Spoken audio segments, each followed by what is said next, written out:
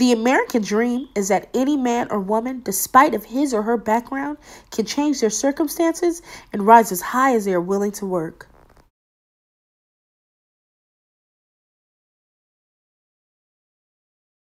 Due to economic and political issues, Candice Dea was forced to migrate to the United States from China at the tender age of 15. Her parents wanted a better life for their children and wanted to ensure that they would be afforded opportunities that would not be offered to them in China.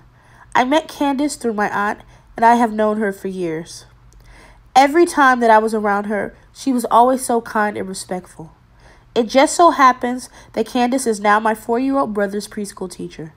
I approached her about telling her story, and she was happy to do so. She explained to me that she is very grateful to be where she is today in life.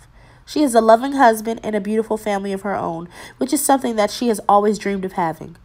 Although she always wanted a family, her biggest dream was to get an education. Candice is from the countryside of China, which is extremely rural. There were limited opportunities for education and to make a living there. The only thing that Candice would have been able to do was get married and raise a family. Her family saw a different vision for their children, and they came to America with only $200 in their pockets. It took over 10 years for Candice and her family to legally migrate into America.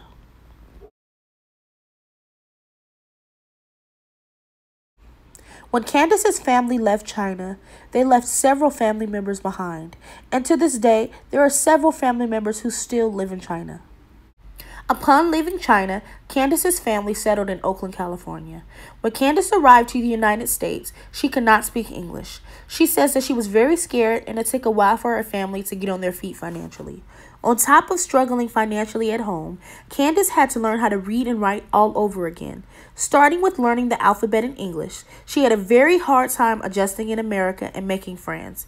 Candice eventually got used to living in America and was the first person in her family to go to college. She attended the University of Hawaii.